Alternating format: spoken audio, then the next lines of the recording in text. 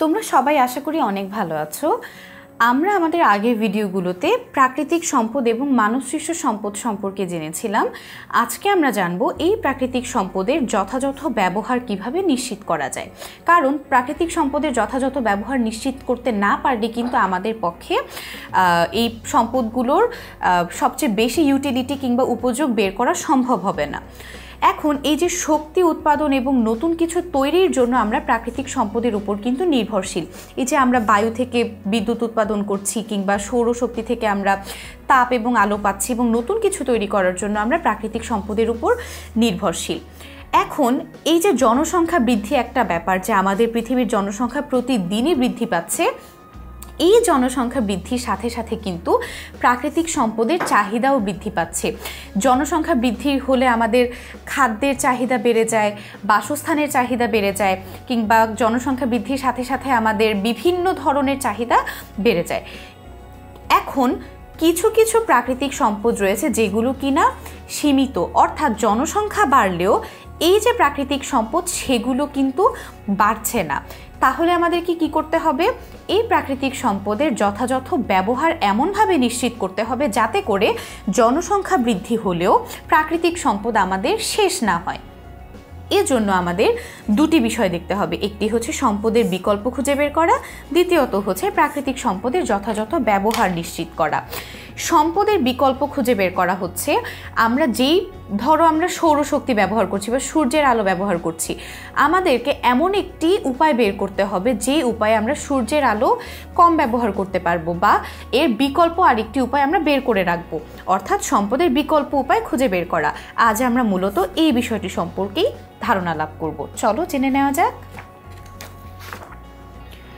প্রথমেই সম্পদের বিকল্প উৎসে যাওয়ার আগে আমাদেরকে জানতে হবে যে সম্পদকে প্রাকৃতিক এবং মানব কি বলে এটাকে? আমরা শিখেছিলাম যে প্রাকৃতিক এবং মানব সৃষ্ট সম্পদ ছাড়াও আরও দুটি ভাগে ভাগ করা যায়। এটি হচ্ছে নবায়নযোগ্য এবং অনবায়নযোগ্য। এই দুটি ভাগে আমরা সম্পদকে ভাগ করতে পারি। নবায়নযোগ্য সম্পদগুলো কোনগুলো এবং অনবায়নযোগ্য সম্পদগুলো কী কী এগুলো যদি আমরা জানতে পারি তাহলেই কিন্তু অনেকাংশে বিষয়টি ক্লিয়ার হয়ে যাবে। অনবায়নযোগ্য সম্পদ কোনগুলো? এই যে আমরা তেল ব্যবহার করি, গ্যাস ব্যবহার করি কিংবা কয়লা ব্যবহার করি, এগুলো হচ্ছে অনবায়নযোগ্য সম্পদ। কেন এগুলো অনবায়নযোগ্য? কারণ তেল, গ্যাস, কয়লা এগুলো যখন শেষ হয়ে যায়, এগুলো পুনরায় উৎপাদন করা সম্ভব হয় না। অর্থাৎ এগুলো হচ্ছে, এগুলোর উৎস অফুরন্ত না। এ কারণে এগুলো অনবায়নযোগ্য সম্পদ। আবার নবায়নযোগ্য সম্পদ কিন্তু বারবার ব্যবহার করা যায়। ধরে যে বায়ু, সূর্যের আলো, এগুলো হচ্ছে নবায়নযোগ্য সম্পদ। কারণ এগুলো আমরা একের অধিকবার ব্যবহার করতে পারি এবং এগুলোর যোগান অফুরন্ত। প্রকৃতিতে এগুলো অনেক বেশি পাওয়া যায়। সূর্যের আলো থেকে সৌরশক্তি সোলার প্যানেলের মাধ্যমে উইন মানে ব্যবহার করা যায়। কীভাবে?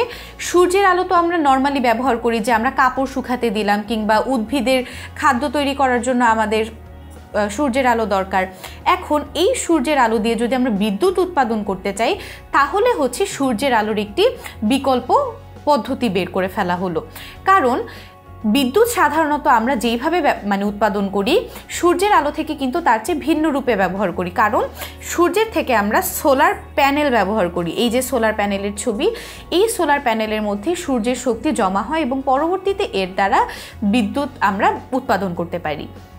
দ্বিতীয়ত হচ্ছে বায়ু প্রবাহ।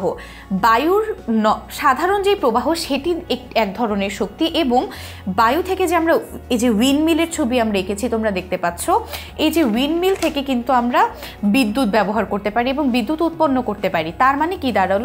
উইন্ডমিলের মাধ্যমে বায়ু প্রবাহকে কাজে লাগিয়ে বিদ্যুৎ উৎপন্ন করেও আমরা সম্পদের বিকল্প আরেকটি উৎস বের করে ফেলতে পারি। তাহলে আজকে তোমাদের জন্য প্রশ্ন হচ্ছে, পানির স্রোত কি ধরনের সম্পদ? আমরা জেনেছিলাম যে বায়ু, পানি কিংবা সূর্যের আলো এগুলো একটি সম্পদের ক্রাইটেরিয়ার মধ্যে পড়ে। তোমাদের জন্য প্রশ্ন হচ্ছে, এই যে পানির স্রোত, এটি কোন ধরনের সম্পদ? তোমরা ভিডিওটি দেখে হয়তো বা জেনে গেছো যে এটি কী ধরনের সম্পদ। আমাদেরকে অবশ্যই মন্তব্য করে তোমরা জানিয়ে দিবে। তোমাদের জন্য অনেক শুভকামনা।